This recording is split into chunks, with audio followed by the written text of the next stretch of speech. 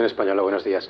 Eh, te oímos decirlo esta semana con, con, una sonrisa, pero bueno, hay un trasfondo. Le tienes ganas al Barça, ¿no? La cuenta es de momento a favor del Barça. ¿Cómo? Cuéntame eso. No, tengo... Yo no soy de los que tiene ganas a nadie. Afortunadamente disfruto de, intento disfrutar de, de lo que soy, como soy y dejo a los demás que vivan su vida y en paz. En el terreno profesional eh, siempre quiero ganar el próximo partido. Mm, es un partido importante, jugamos dos grandes equipos. Eh, para nosotros, para el equipo, para la afición, pues sería un, paso importante ganar al Barça, pero sabemos de la dificultad que ello conlleva. Eh, no pondremos, por mi parte, eh, una especial atención o más que el siguiente partido que tuvimos contra el Leganés o el anterior de Liga contra, contra la Real.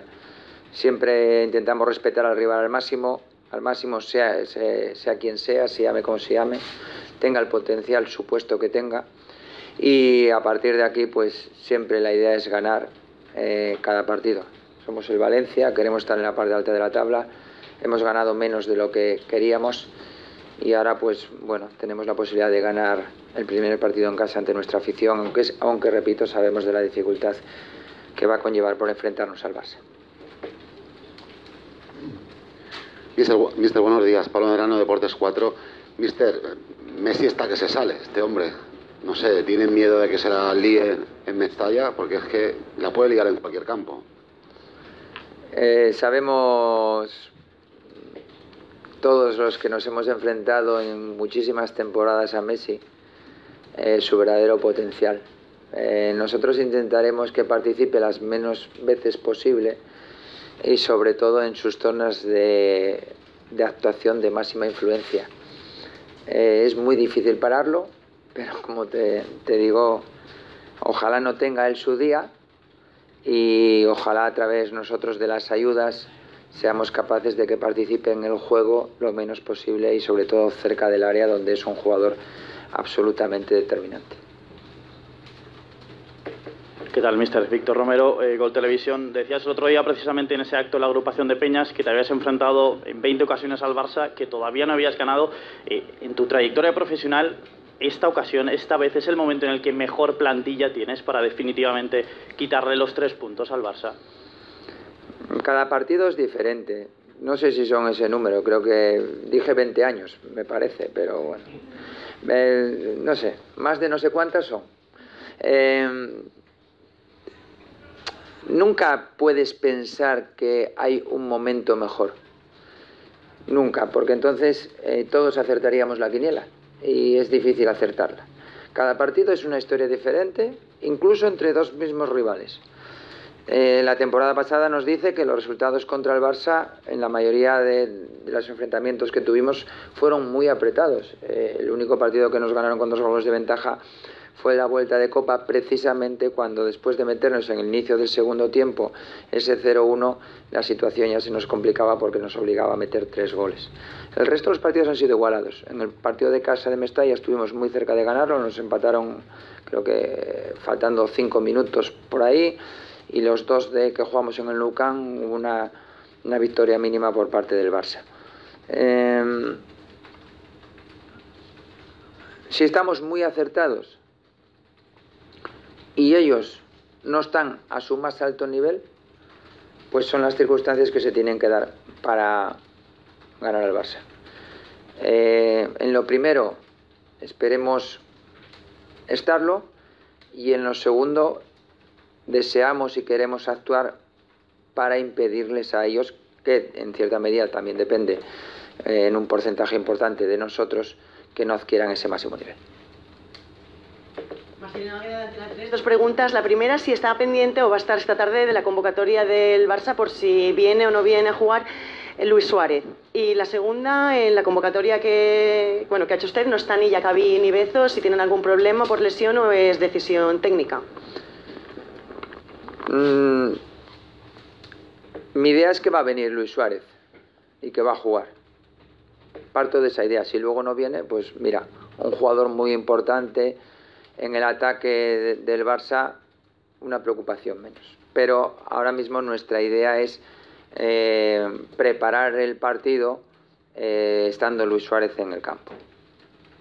Y en cuanto a Diacabí y Rubén, a nivel físico están perfectos. Tenemos que hacer una convocatoria de 18. Afortunadamente, afortunadamente solo tenemos eh, pues un lesionado que es Antimina. El resto están bien. Ferran viene de, de un proceso infeccioso con fiebre, pero ha entrenado los últimos días bien.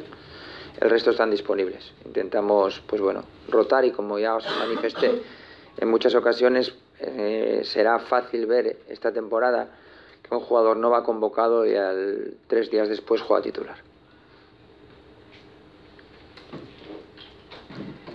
Buenos días, Pello Bord del periódico Levante. Eh, Coquelán está a un nivel eh, muy alto.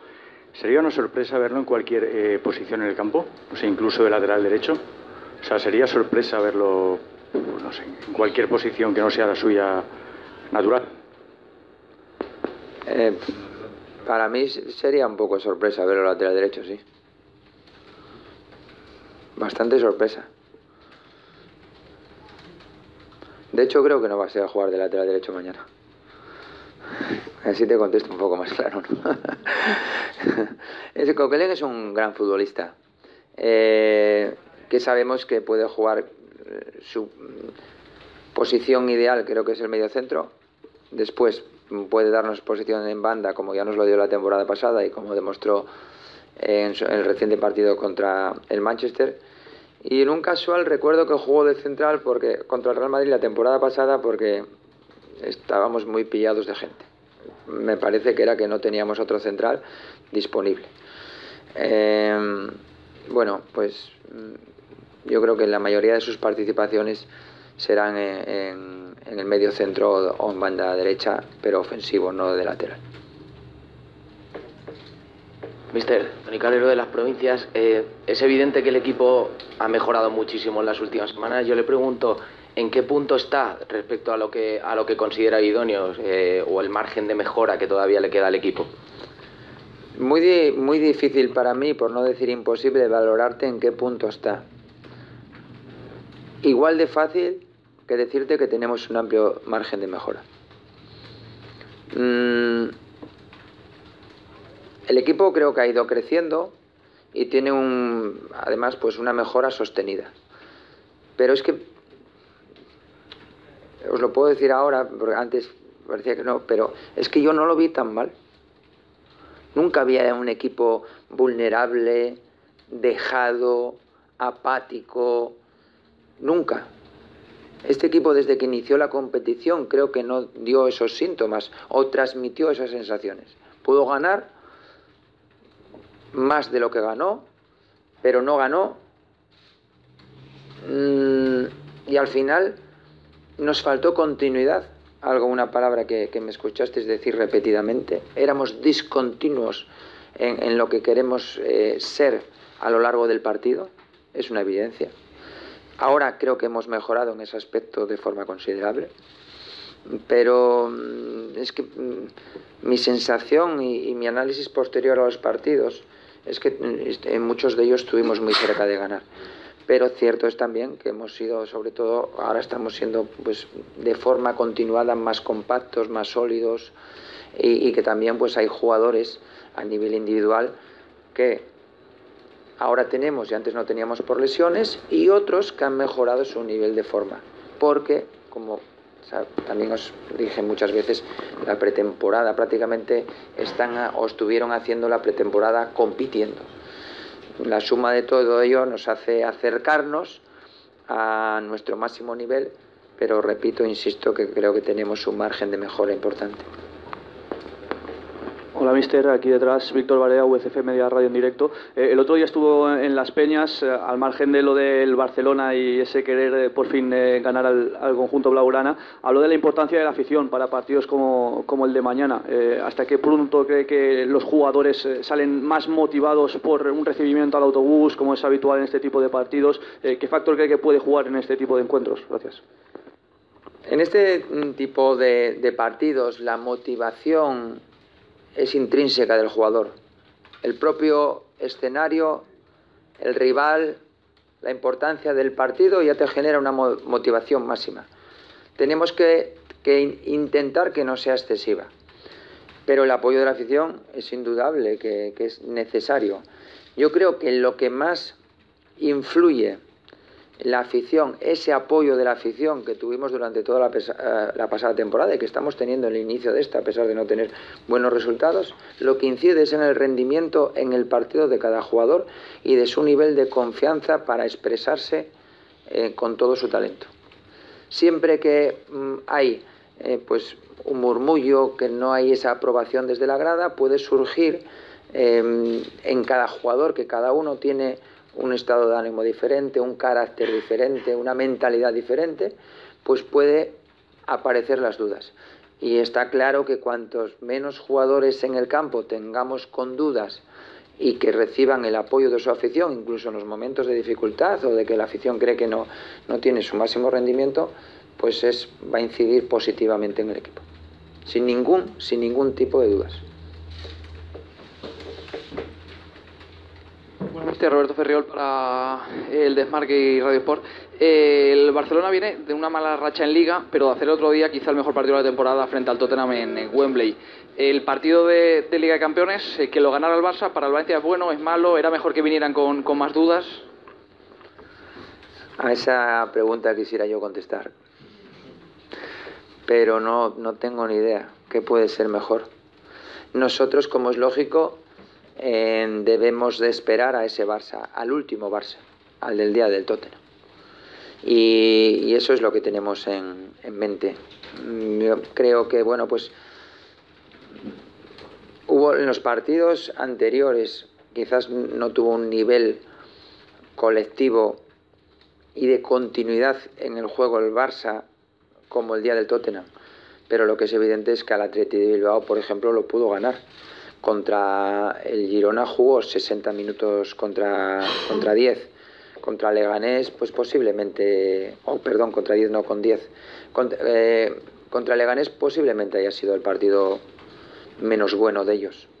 Pero mm, en los partidos contra de casa creo que hizo merecimientos suficientes para haber logrado una victoria. Y de hecho pues bueno varios tiros al palo sucedieron en, ambos partidos. Mm, sabemos que el Barça contra el Valencia va a jugar al máximo nivel. Y va a jugar con los jugadores mejores que su entrenador va a considerar para ganar. No la temporada pasada nosotros sobre todo al principio al principio, esas primeras 8 o 10 jornadas, podíamos ser un equipo sorpresa que venía de dos temporadas no buenas. Y entonces, bueno, pues ¿qué será el Valencia este año? ¿Qué será? A partir de la jornada 8 o 10 de, de la temporada pasada, el Valencia, yo creo que por el resto de rivales, todos de, primera división, ya fue respetado como un equipo que, que solía ser. Y, y, en esta situación creo que el Barça vino aquí la jornada 13, ¿no? Más o menos 13-14 en la pasada eh, temporada y ya vino sabiendo que se enfrentaba a un buen equipo en una buena dinámica y, que bueno pues de por sí Mestalla es un campo difícil para todos los rivales muy difícil muy buen equipo pero creo que nosotros tenemos la creo no estoy seguro la ilusión de ganar de ser competitivos y, y de vencer al Barça ¿Alguna pregunta más? Gracias por siempre. Vale, gracias. Gracias. Colón,